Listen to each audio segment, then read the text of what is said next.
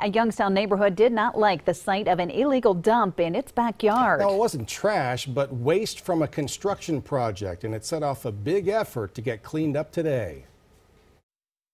This video shows a washout when a concrete truck rinses out cement so it doesn't drop on the road as it drives away.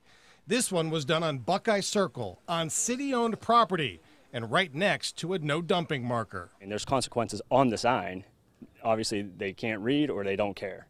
The blatant disregard is what's disrespectful. The Buckeye Eyes and Ears Block Watch took notice. Bill Watson leads that group, and the illegal dump really bothered him. We're pretty uh, proud of our neighborhood, and when somebody does something like this, we get upset. The mixer says TC Ready Mix right on the side, a city company, but I called and they told me the truck was not from its Youngstown location.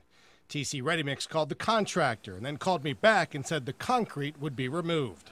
I mean, they did it and they did it knowingly in front of the no dumping sign and now that it's come public to everybody and it's it's got pretty big on the Facebook, now they're trying to hurry and cover it up and get rid of it. For the city, it falls under illegal dumping.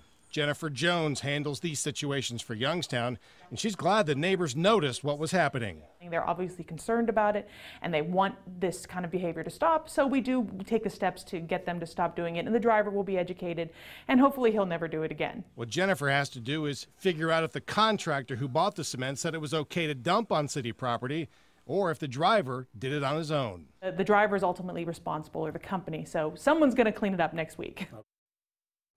Now, I just learned that the cleanup started late this afternoon to return that spot to normal. By the way, before I talked to Jennifer, she had been out checking 12 other places in the city where illegal dumping had taken place.